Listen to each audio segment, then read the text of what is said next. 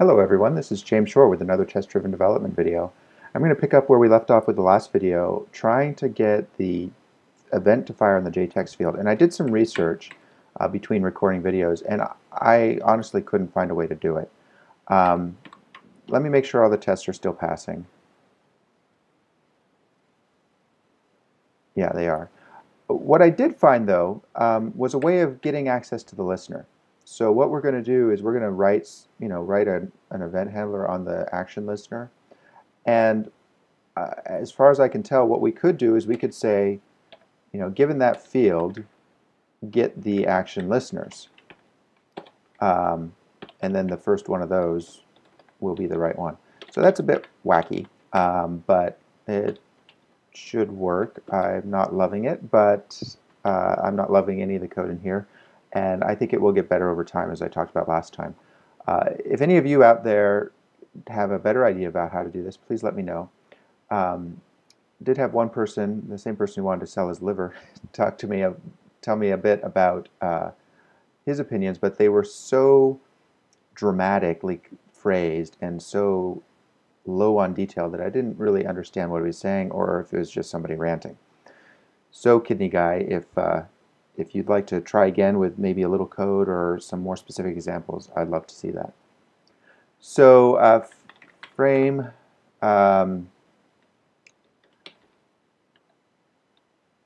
I, I want to, I'm going to say, I mean, this is terribly ugly, but um, I'm just going to ask for the starting balance field. That will be our JText field. Um, go ahead and toss that in.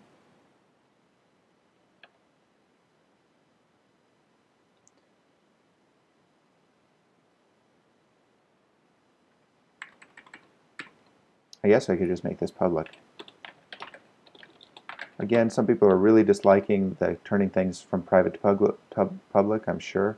I don't really like it either, um, but I don't see a better way right now and I don't feel like I'm being lazy about this. I think, as I mentioned last time, I think it will just sort of, I'll figure it out over time. So the action listener is an array.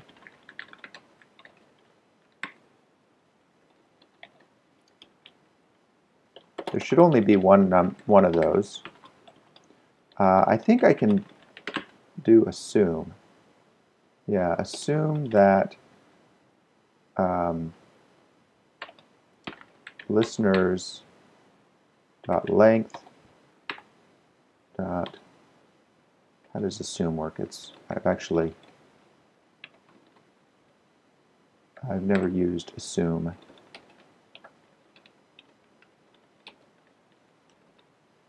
Oh, assume.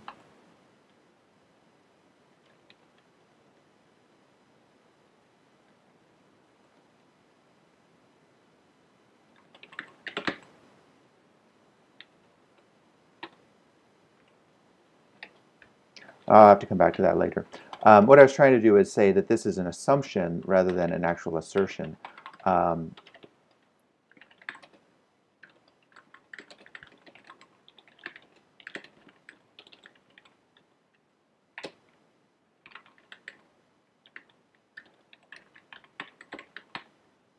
this is just having the test uh, check itself because it is we are poking around into the internals that's really bad form and um, yeah. Actually, no, we this doesn't need to be assumption. Then we can say uh, text field should have action listener. And there should really only be one. So yeah, we'll do that. It's going to fail because we haven't written that code yet. Um, and so now we can go ahead and code all this up, but we'll leave this part out. And so that will pass, but we still haven't tested everything that we need to do. Now we need to assert that the application model should be updated. Um,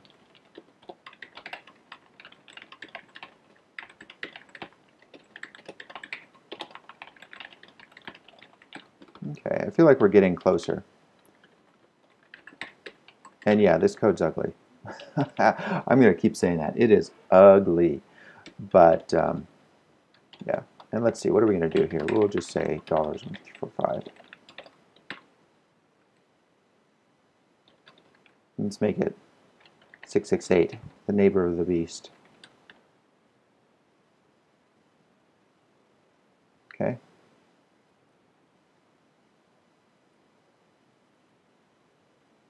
Uh, it doesn't like the null. Yeah. So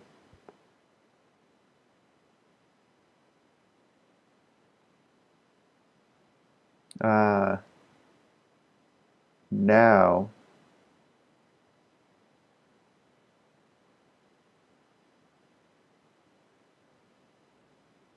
so we really need the frame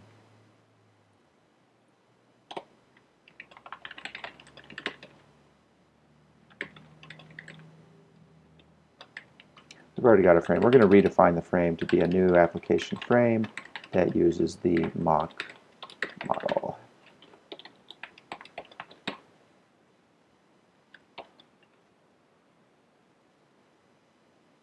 Still failing because we're not uh, we're not actually triggering the event. By the way, I think we need to make uh, dollars compare to null without uh, without throwing an exception. Uh, the tests are too hard to read. Every time I get that null pointer exception, I, I don't know what's going wrong. Um,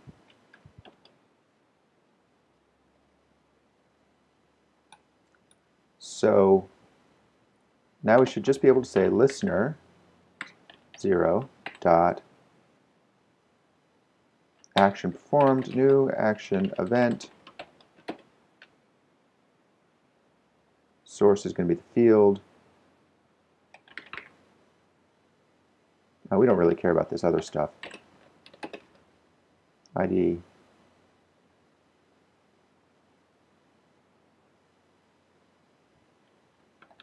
Zero and an empty string.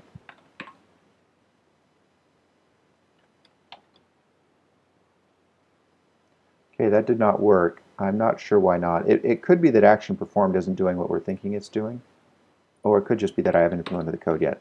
Let's see what happens. Oh, perfect. Expected 668, but was 12345. Now um, we need to just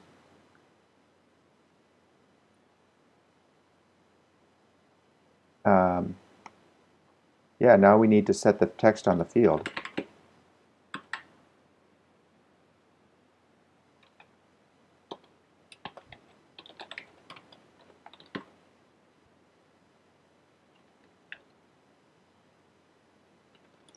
And this is going to make a do new dollars field dot get text.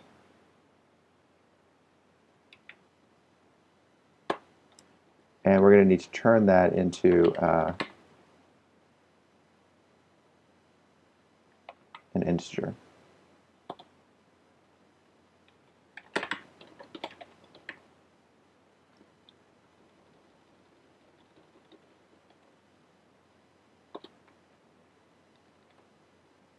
Okay. I'm a little surprised that didn't tell me I needed to catch an exception. Doesn't parse int throw an exception? Yeah, it throws a number format exception. Uh, maybe number format exception is as a runtime exception. I thought it was not a runtime exception, but Oh, it's a runtime exception. Okay, so we need to handle handle text parsing and application frames, uh, get text for starting balance text field or whatever it's called. Um, but I don't want to handle that now. So is this working? It is working. Why did it take so long?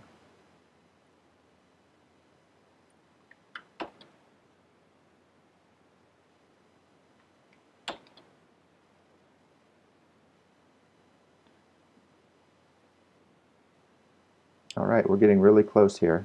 This is taking too long though. Way too long.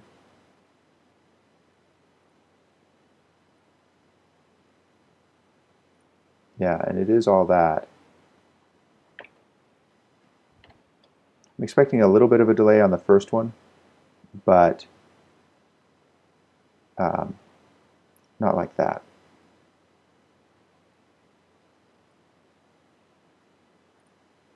When I was doing my research, there was a note in there about uh, this, uh, about possibly creating a delay. I'm not sure. Maybe this is normal.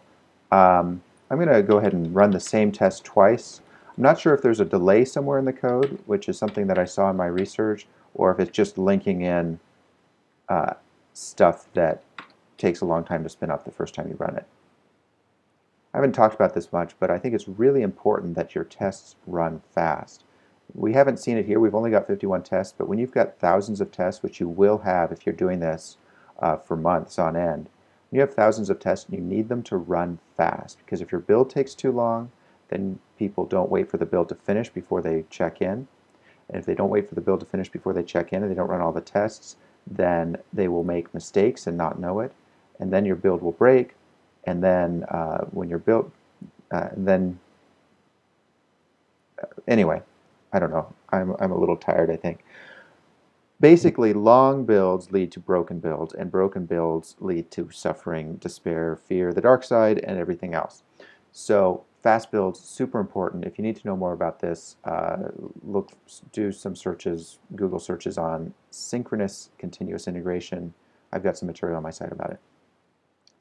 Anyway, um, yeah, the problem is just that it's linking some stuff in, so that's not a real hit. It's just some Java stuff going on. So we're good here. We've got this working. Oh man, that is so slow. Four seconds. 10 seconds is sort of the maximum for a local build like this, but I'd really rather it be done in less than a second. You can feel it when it takes more than a second. Oh, so slow. I wish I knew a better way. Well, um, this should work now though. Let's go ahead and run this. See what we can see.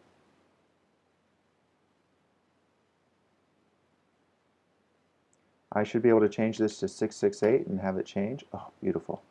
Should be able to change it 1, 2, 3 and have it change.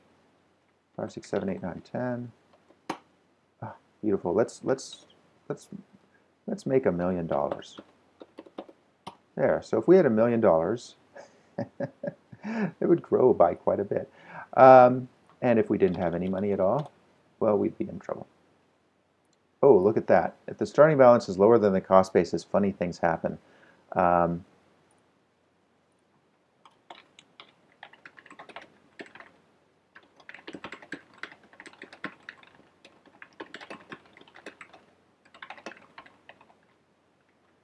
uh, that should be illegal.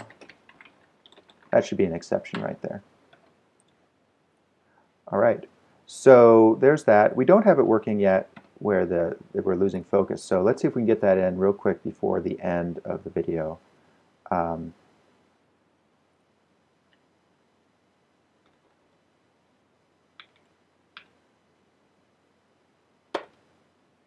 and I think what I'm going to do is I'm going to just do the same code again. Sure this is going to be bothering people out there, but um,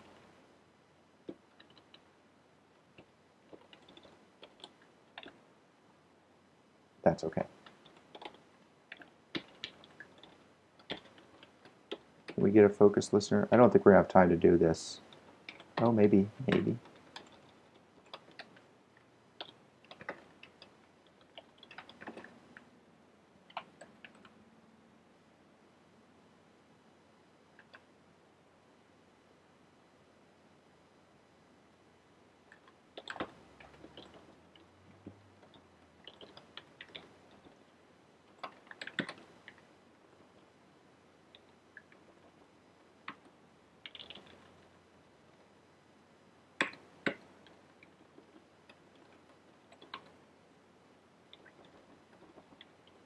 Nope, we don't have time. All right, well, thanks everybody. We'll pick this up next time.